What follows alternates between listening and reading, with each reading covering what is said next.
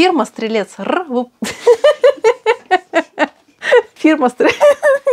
Ребята, всем привет! Наступил новый 2021 год, и с чем я от души вас поздравляю. Мы проводили 20-й, и настало время подвести итоги. Чем же нас порадовал последний месяц уходящего года? Итак, поехали!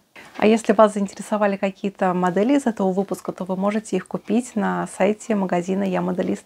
Звезда показала бокс-арт и выпустила свою очередную новинку – бронеавтомобиль Тайфун К. Шикарный бокс-арт показывает службу этой машины в Сирии с характерными красными полосами военной полиции. А также в наборе есть декаль, при помощи которой можно будет изобразить машину на параде на Красной площади. Но, увы, двигателя внутри Тайфуна не будет. Мини-арт продолжает тему немецких четверок в 35-м масштабе. В декабре они уже анонсировали четвертый панцир версии H производства завода Вамак, ранее серии образца 1943 года, с интерьером и рабочими траками. Если вы захотите купить такую модель, то готовьтесь к хорошему удару по кошельку. На этом четверки от мини-арта не заканчиваются. Еще один четвертый панцир стоит ждать от этой фирмы – также версии H и тоже завода Вамак, но уже производство лета 43 года. А что, отличное решение. Один месяц и одна модель, но в разных вариантах. У Миниарта выходит миниатюра. Немецкие ремонтники с подъемным краном и двигателем Майбах. В наборе будет декаль, где будет написано «не курить» по-русски. Производитель таким образом намекает, что немцы чинят двигатель точно не у себя на родине. Ну и вдобавок мини-арт грозится выпустить модель трактора Lance, но уже с крышей в 35 масштабе. Мини-арт продолжает штамповать коробки с бронеавтомобилями Остин, и на этот раз в японском варианте. И судя по иероглифам на коробке, ребята из Украины хотят завоевать и японский рынок тоже. Модель отличается от своих собратьев, уже выпущенных, только башенками. Ну и под конец года мини-арт выкатили на наш суд основания для диорамы – где центральное место занимает железнодорожный переезд со шлагбаумом и прочими атрибутами такого инженерного сооружения. РФМ анонсировали выпуск поздней «Пантеры» в 35-м масштабе. Модель можно будет построить в двух версиях со стволом длиной в 100 калибров и в 70. Также модель можно будет проапгрейдить дополнительной броней. i7 по традиции дополняет свои модели фигурками и выпускает как раз новый набор. И на этот раз они дополняют броневичок, Sd.Kfz. 247 немецкими офицерами. Такой броневик у меня уже есть на канале. А кто еще не видел, советую глянуть. AMG выпустили модель двигателя внутреннего сгорания М11 советского производства в 35 масштабе на станине. Видимо, это ответ MiniArt 'у с их немецким двигателем.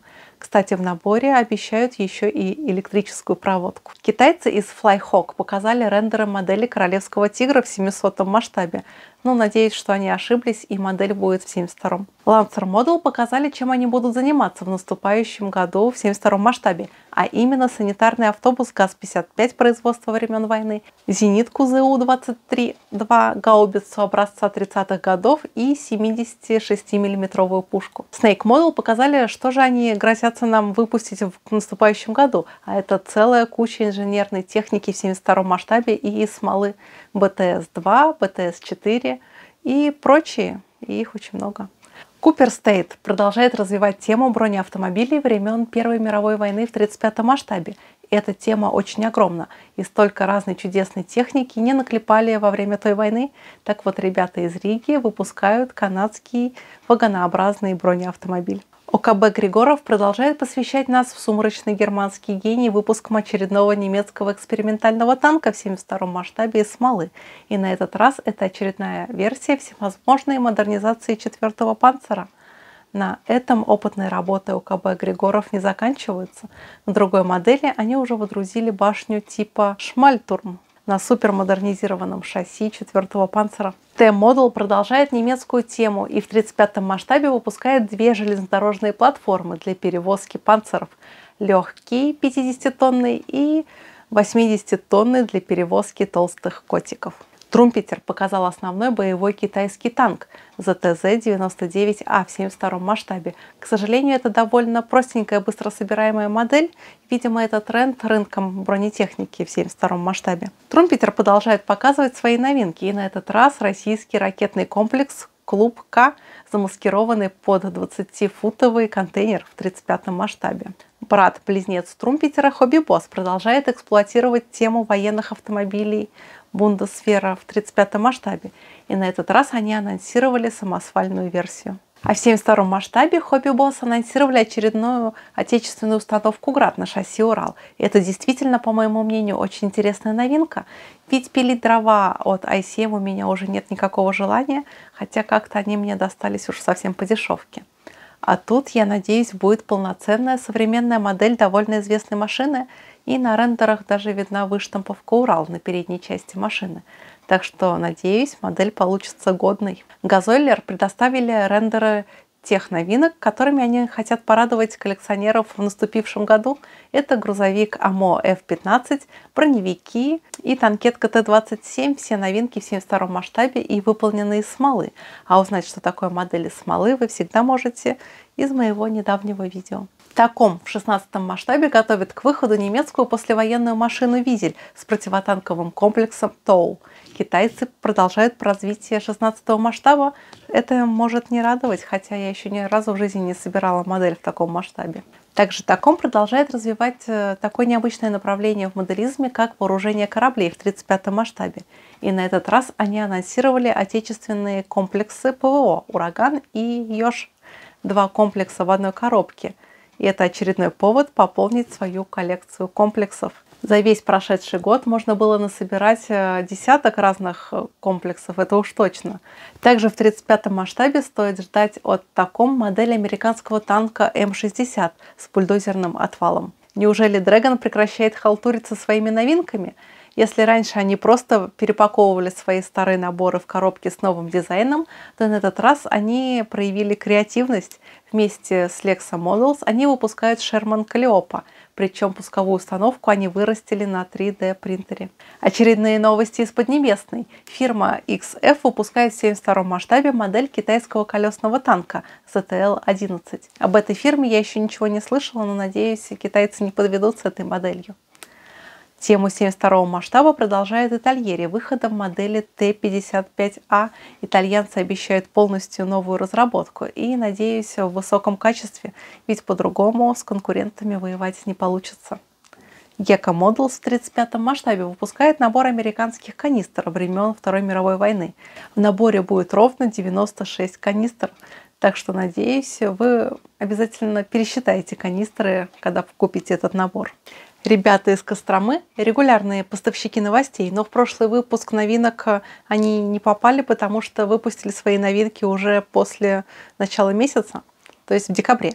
И время наверстать упущенное. АВД продолжает развивать тему бронетехники в 43-м масштабе выпуском БТР-60 и танком Т-55. Эти новинки меня не сильно зацепили, так как для брони есть, например, 35 или 72 масштаб. А вот УАЗ-буханка со стрёмной мордочкой – это уже что-то интересное. Но это смола и ценник на такую модель явно завышен. У ребят она почти 2000 рублей стоит, а это слишком дорого для такой эксклюзивной буханки. Но за такие деньги эту модель уже раскупили. Еще одна интересная новинка от ТВД – это грейдер D598. Он тоже полностью выполнен из смолы, и сборка такой модели не обещает быть легкой прогулкой. Но прототип, безусловно, интересный, а цена нет. Стоит такая модель аж 3500 рублей, и это очень дорого. Но АВД реабилитируется перед моделистами КАМАЗами – они выпустили самосвалы, две версии КАМАЗов 6522 и КАМАЗ 6520. К слову, на родине АВД их уже не купить, и единственная надежда на магазины Я моделист. АВД продолжает линейку НИФ из смолы. Я, кстати, уже собрала одну такую в санитарном варианте и скажу, что это далеко не лучшая их модель. У нее явные проблемы с геометрией, и, в принципе, издалека она на Ниву похожа, и также у моего варианта очень стрёмные декали. Подробности стройки вы можете увидеть скоро на моем канале. Но костромичи решили не париться и в гражданскую версию вообще не положили декали вовсе. Думаю, у этой новинки будут те же проблемы с геометрией и тот же конский ценник, но альтернатив у этой модели нет, и конкурентов в 43 масштабе у Костромы тоже не предвидится. Может быть, только ушлые ребята из ICM в наступающем году что-нибудь предложат – Очень на них надеюсь ведь звезда отказалась продолжать работу над моделями в 43-м масштабе. Несмотря на откровенно высокую цену Нивы, ее уже через неделю после выхода на рынке было очень сложно купить. Любопытная новинка от ТВД – это автобус МАЗ-203. Обратите внимание на декале, это не опечатка на маршрутном указателе. Следующая станция написана на белорусском языке. Это неудивительно, ведь этот автобус родом из моей любимой Белоруссии. Но на тот случай, если я захочу сделать автобус на службе в России, ребята из АВД не учли. Шикарный шестиколесный ЗИЛ-132 РС выпускает АВД. Спасибо ребятам из Костромы, что развивают тему внедорожных автомобилей и специального КБ ЗИЛ. Модель выполнена из смолы, но в наборе и присутствуют детали из пластика. Ну и завершают феерию новинок от АВД две версии сидельных тягачей с разными вариантами кабин. Масса 5440. Один набор представляет собой тягач в соло-варианте, а другой с тентовым полуприцепом. Надеюсь, что скоро Костромичи выпустят набор с прицепом в отдельности от тягача, ведь прицепов э, на всех тягачей не хватает даже у меня в коллекции. Фирма Триглав показали модель очень необычного в наших краях военного полноприводного автобуса ТАМ-110. Модель будет выполнена в 35 масштабе и, скорее всего, тоже из смолы. Ган Тауэр продолжает сыпать анонсами советских автомобилей, играя на ностальгических чувствах моделистов. На этот раз они показали тестовую сборку автобуса ЛиАЗ 677М в 35 масштабе. Модель будет выполнена в смоле со всеми вытекающими отсюда обстоятельствами. И стоить будет он такое чудо чуть дешевле настоящего автобуса. Под эгидой Модель Про выходит угловатый фургон Чернигов в 43 масштабе. Ласточка продолжает клепать окрашенные модели из смолы с не очень очевидным качеством. На этот раз они выпустили пикап. Французы из Хеллер в 24 масштабе обещают выпустить модель фургончика Рено в полицейском варианте. Это довольно интересная новинка, ведь Хеллер не часто радует нас обновками. В авиационных новостях ICM нас радует выходом советского истребителя-перехватчика МиГ-25ПД в 72 масштабе. Российская фирма Arc Models возрождается словно Феникс и уже выпускает вторую новинку подряд. На этот раз это самолет Ла-9. Любопытно, что на боксарте написано Лавочкин, а не Ла. Видимо, тут имеет место проблема с лицензией с КБ Лавочкиным, которая, кстати, в настоящее время разрабатывает космические аппараты. Кити Хок в танковом 35 масштабе анонсировали модель вертолета HH-60. Что ж, модель и вправду будет очень большой. Звезда показала рендеры немецких бойцов фолькштурма в 72 масштабе, и они несколько отличаются от тех, что показаны на бокс-арте, а две фигуры вообще в очень похожих позах. А еще фигуры не представляют из себя полные картины. Каждая из них, по сути, это разрозненный сюжет.